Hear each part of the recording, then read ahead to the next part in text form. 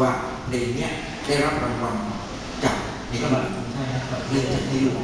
ครับเรื่องราวมันเป็นยังไงพี่ช่วยกรุณาบันทึกอีกสักครั้งหนึงครับคือตอนนั้นยังเป็นลูกทุ่งครูทอยอ๋อแล้วบันทึกแผ่นเสียงตรงนี้ไปแล้วหรือว่าเวลาเดินสายเนี่ยมันจะเป็นเรื่องตามหาตลอดกันครับแล้วประชาการันตีหลายคณะซึ่งได้ผู้บริหารมาเป็นหมู่คณะคือในนามของชาวคณะเลยใช่ครับ แต่ว่าเพลงโชว์ที่ทำให้คณะได้รับ รางวัลคือเพลงนี้เลยใช่ครับป้าหลวงที่หมอครับและของของคุณครูที่เขาไม่ค่อยจะแต่งเพลงลูกทุ่งสักเท่าไหร่ด้วยอ่าสิริพงศ์อิสระกุลในอยุธยาไม่ได้เกี่ยวอะไรกับวงการลูกทุ่งมากนะใช่ครับนะครับคือคุณท่านเป็นเป็นเป็นดาราละครวิทยุถูกต้องครับนักจัดรายการวิทยุเขาเป็นนักแสดงด้วยแล้วก็เสียงท่านเพราะมากนั่นก็เป็นประมาณว่าดาราวิทยุครับแต่เขียนเพลงนี้พี่ใช่ครับ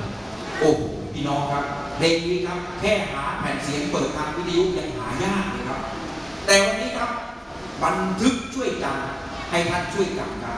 เพลงที่ทำให้วงดนตรีพรราชนะเลิศ